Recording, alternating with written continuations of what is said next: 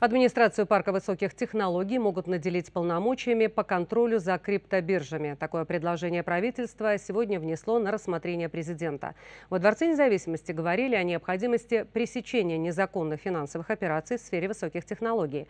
В последние годы цифровая трансформация буквально перевернула мир финансов. Хождение токенов и криптовалют стало обыденным во многих странах. Их используют наравне с традиционными деньгами. Правда, пока не везде эта сфера в полной мере контролируется контролируется государством. Практика применения цифровых денег в Беларуси показала, что кричащих злоупотреблений в этой сфере нет.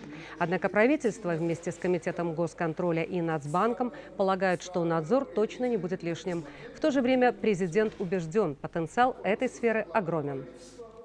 Мы должны рассматривать цифровые технологии с позиции не только угроз, но и возможностей для развития.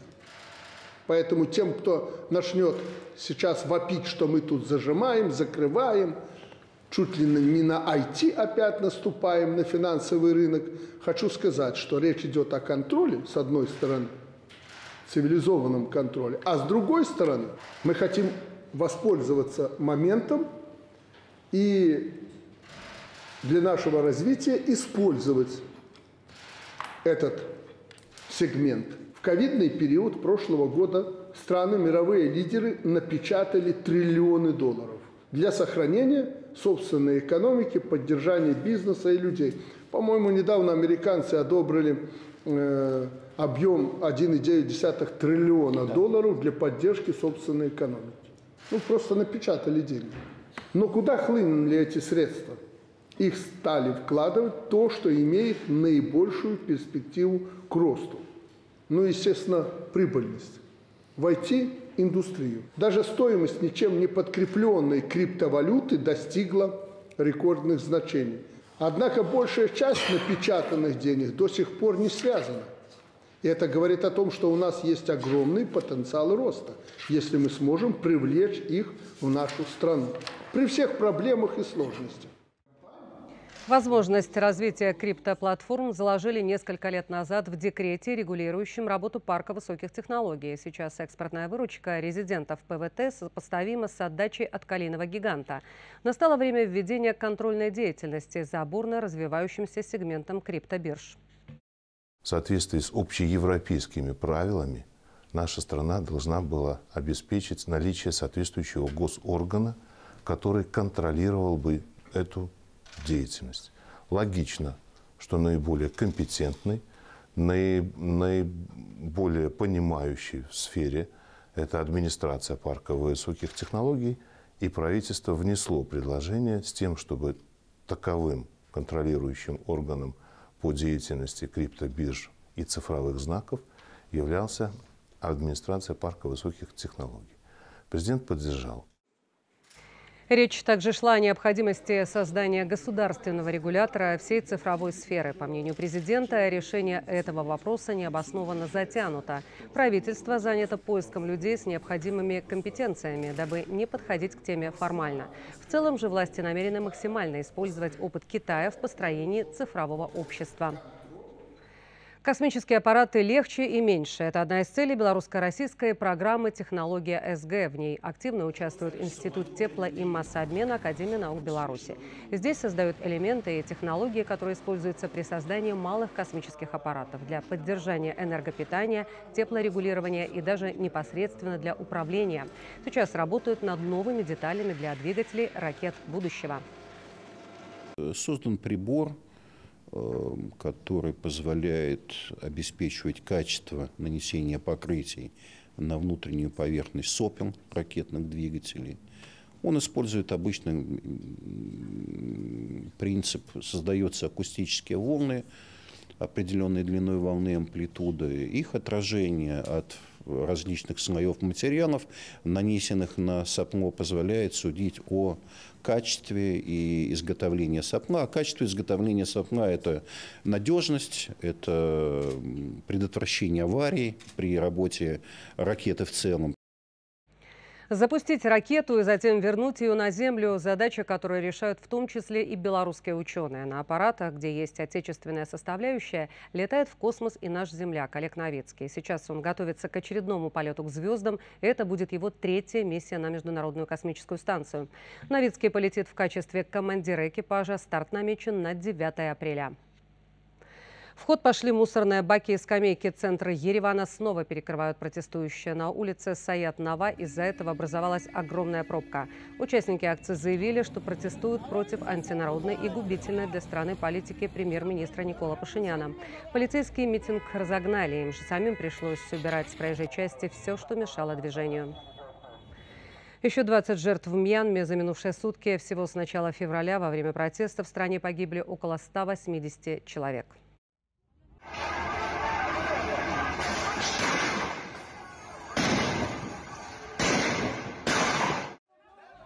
Накануне акции продолжились в нескольких городах, а до этого воскресенье стало самым кровавым днем после госпереворота. За одни только сутки на улицах погибли более 70 демонстрантов. Силовики разгоняли толпу водометами, светошумовыми гранатами и боевым оружием. В Янгоне демонстранты тоже ответили стрельбой. Есть жертвы и среди полицейских. Следственный комитет Беларуси завершил расследование уголовного дела об организации маршей студентов. Сейчас такая задача – это фотографию сделать и прийти на второй этаж, где вся администрация сидит у них под дверями, там, пошуметь, побесить их. Вот, собственно, и все. Обвиняются 12 человек, студенты, преподаватель и представитель так называемого Координационного совета. В уголовном деле они фигурируют как организаторы акций протеста в столичных вузах. Призывы, листовки, администрирование телеграм-каналов – все детали оговаривали Стехановской. В результате студенты блокировали коридоры и лестницы, мешали пройти тем, кто не с ними, и поднимали шум, чтобы сорвать учебный процесс протестную деятельность были вовлечены студенты таких учебных заведений, как э, Белорусский государственный университет, Белорусская государственная академия искусств, Белорусский государственный педагогический университет имени Максима Танка, БГУИР, БНТУ, а также Минский государственный лингвистический университет. Всем 12 обвиняемым инкриминируется организация действий, грубо нарушающих общественный порядок – совершенная группой лиц. Санкции прокурора в отношении всех обвиняемых применена мера пресечения в виде заключения под стражу.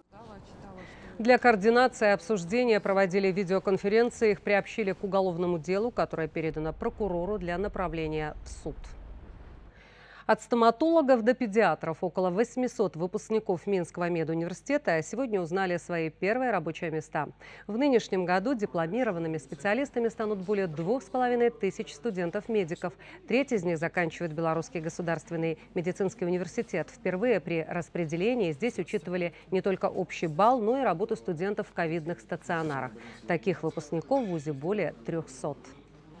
Я на самом деле очень довольна. Я э, сейчас спешила сообщить об этом своим родным, потому что и близким, потому что они на самом деле очень хотели, чтобы я заняла ту должность, которую я сегодня получила. Я хотела должность психиатра-нарколога, потому что мне очень интересна область э, психиатрии, э, головной мозг и все, что связано с этим. Львиная доля в ходе двух фактически раундов, скажем так, согласования уже подписали свои желаемые места по распределению. Конечно, возникают у наших коллег вопросы. Кто-то хотел бы сменить профиль, поменять э, один регион на другой регион. И медицинские вузы в этом отношении всегда отличались тем, что министр, ну в крайнем случае его первый заместитель или главный государственный санитарный врач проводит личное распределение. Комиссия беседовала с каждым выпускником и по возможности постаралась учесть пожелания. Большинство молодых специалистов направили в регионы. Работать врачи будут не только в сфере здравоохранения, но и в социальной защите, санитарных службах и силовых структурах. Страны Европы одна за другой приостанавливают вакцинацию британо-шведским препаратом AstraZeneca из-за серьезных побочных эффектов. Последними о приостановке объявили Швеция, Испания, Словения, Кипр и Латвия. Там ждут заключения Европейского агентства лекарственных средств, которое сейчас расследует случаи образования тромбов у некоторых пациентов после вакцинации. Сегодня ситуация обсуждается на экстренном заседании ВОЗ. В компании, выпускающей препарат, обвинения не принимают, утверждая, что преимущества перевышают риски. Тем временем во Франции обнаружен новый тип ковид, который не определяется ПЦР-тестами. Им уже заразились 8 человек. Южноафриканский штамм добрался до наших соседей, России. Случаев пока только два. А вот из Украины пришла новость о новом в стране комбовирусе. Штамм с признаками британского и новыми, ранее неизвестными. Официальную эту информацию наши южные соседи пока не подтверждают.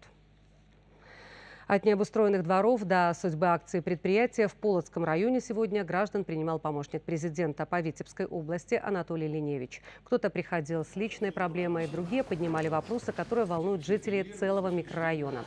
На окраине Полоцка, в бывшем военном городке, почти два десятка многоэтажек.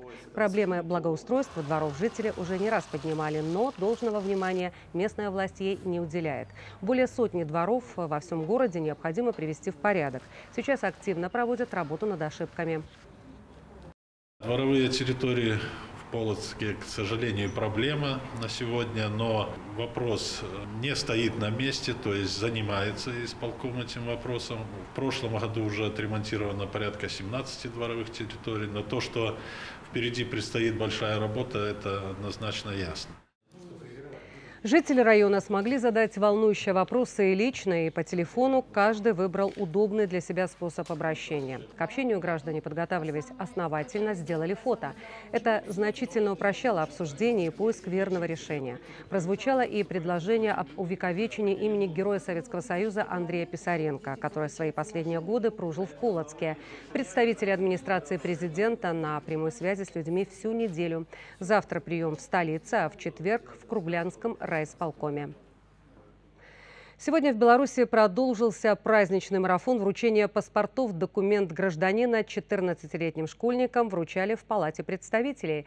Эти ребята из Витебской области. Каждый в чем-то успешен в учебе, спорте, общественной жизни. Документ своим землякам вручал спикер Палаты представителей Владимир Андрейченко. Каждому из ребят досталась книга «Я гражданин Республики Беларусь». Нам очень повезло быть гражданином Республики Беларусь, и государство позаботилось о том, чтобы перед нами были открыты все дороги, и теперь наша очередь вносить какой-то вклад в историю нашей страны, и я думаю, что мы будем гордо носить звание гражданина Республики Беларусь. Получение паспорта – это очень важный рубеж в жизни каждого человека. Для меня это э, новый этап вхождения во взрослую жизнь, где появляется большая ответственность за собственную судьбу, но также и появляются новые права. Гости с севера страны смогли поближе познакомиться с работой Нижней палаты парламента. Состоялась экскурсия в овальный зал, где проводятся важные заседания и принимаются законопроекты.